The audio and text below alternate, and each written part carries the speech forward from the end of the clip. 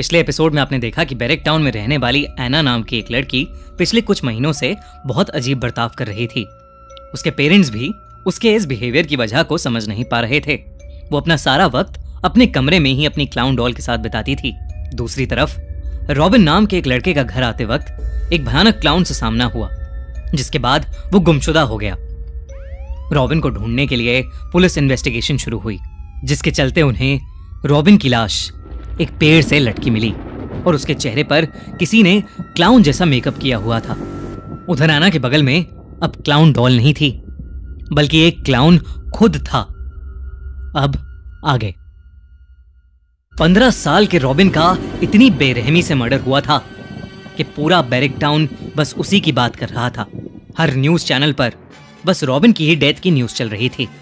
कल रात हुए मर्डर से पूरा बैरिक टाउन शॉक में है। किसी ने एक पंद्रह साल के लड़के को आधी रात में बेरहमी से मारकर एक पेड़ से लटका दिया। उस लड़के के चेहरे पर एक क्लाउन जैसा मेकअप भी पाया गया। आइए जानते हैं सीनियर ऑफिसर जेराल्ड से कि वो अब क्या एक्शन लेंगे। हम पूरी कोशिश कर रहे हैं। जिसने भी ये किया है वो जल्दी ही पकड़ा जाएगा। जॉनी भी टीवी पर न्यूज़ देख रहा था। जॉनी रॉबिन का दोस्त और क्लासमेट था।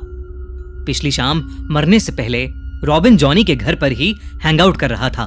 जॉनी भी रॉबिन की डेथ से घबराया पड़ा था। उसकी मॉम उसकी घबराहट को देखकर उसके पास आई और टीवी का चैनल चेंज कर दिया। बेटा ये सब न्यूज़ देखना बंद कर। हम जरा रॉबिन के पेरेंट्स से मिलकर आ रहे हैं। तू बिल्कुल भी बाहर मत जाना ओके?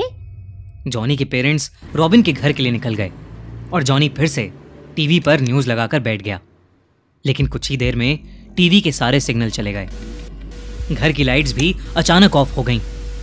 टीवी भी बंद हो गया। लेकिन अचानक टीवी दोबारा ऑन हुआ। टीवी की स्क्रीन पर जॉनी को जो दिखा उसे देखकर वो सुन पड़ गया। टीवी की स्क्रीन पर वही भयानक क्लाउन था। हेलो सरप्राइज़ सरप्राइज़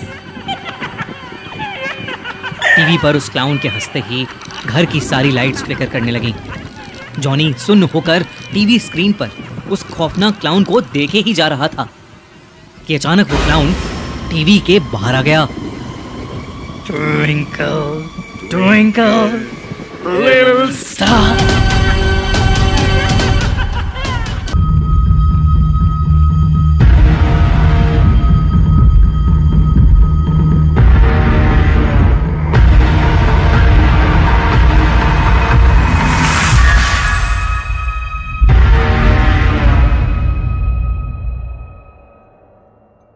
एना का घर अब भी सजा हुआ था।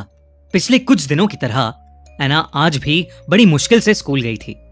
पर एना की मॉम मेगन काफ़ी घबराई हुई थी, क्योंकि शाम के छह बज चुके थे और एना अब तक स्कूल से वापस नहीं आई थी। स्कूल तीन बजे खत्म हो जाता था और एना को अब तक हर हाल में घर आ जाना चाहिए था।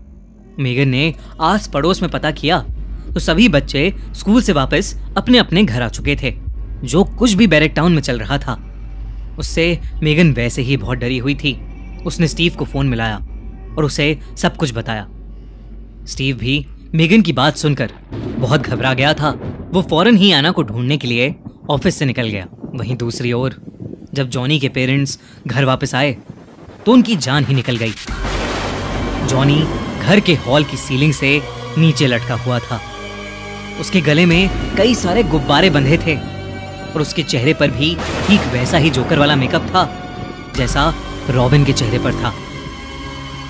बैरेक टाउन में एक और मर्डर हो चुका था। जॉनी भी अब इस दुनिया को छोड़कर जा चुका था। लेकिन बैरेक टाउन की पुलिस के हाथों अब तक एक भी सुराग नहीं लगा था। डिपार्टमेंट के सबसे होनहार ऑफिसर ऑफिसर जेराल्ड को अभी कुछ महीनों पहले ही बैरिक टाउन में ट्रांसफ़र किया गया था। जेराल्ड ने कई हाई प्रोफ़ाइल मर्डर मिस्ट्रीज को सॉल्व किया था, लेकिन ये जेराल्ड का पहला केस था, जहाँ उसे समझ नहीं आ रहा था कि आखिर ये मर्डर्स हो कैसे रहे हैं। मर्डर्स लोकेशन पर किसी के कोई फिंगरप्रिंट्स भी नहीं थे। एविडेंस के नाम पर भी थे तो बस कुछ अतरंगी से दिखने वाले गुब्बारे, जिन पर अजीब से चेहरे बने थे।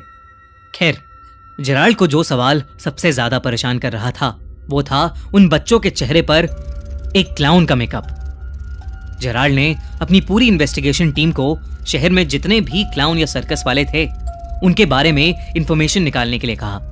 उधर किसी के पास भी एना के बारे में कोई इंफॉर्मेशन ही नहीं मिल रही थी। स्टीव और मेगन डरे सहमे से पूरे बैरिक टाउन में एना को ढूंढ रहे थे। तभी स्टीव का फ़ोन बजा और उसके फ्रेंड पीटर ने उसे बताया कि एना को किसी ने बैरिक टाउन ग्रेवयार्ड जाते देखा था। स्टीव और मेगन तुरंत बैरिक टाउन ग्रेवयार्ड पहुँचे। उन्होंने देखा कि एना की बाइसिकल उस ग्रेवयार्ड के बाहर ही पड़ी है। वो फ़ौरन अंदर गए। एना उस ग्रेवयार्ड के अंदर बैठी रो रही थी। उसके मुँह पर लाल पेंट से एक लंबी सी लाल लाइन पेंटेड थी, जैसे किसी क्लाउन की स्माइल बनी हो। उसकी आँखों के पास काला पेंट था, जो एना के आंसुओं से अब भी गीला था। मेगन ने घबराई हुई एना को देखते ही कस के गले लगा लिया। एना के पेरेंट्स उसे वापस घर ले जाने लगे।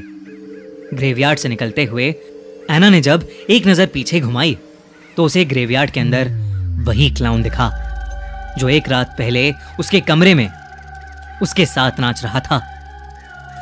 उसने एना को मुस्कुराते हुए अपने हाथ के इशारे से बाय कहा। एना ने कुछ रिएक्ट नहीं किया, और बस उस क्लाउन को देखती रही। तभी अचानक जोरदार बारिश शुरू हो गई। और बिजली कड़कने लगी।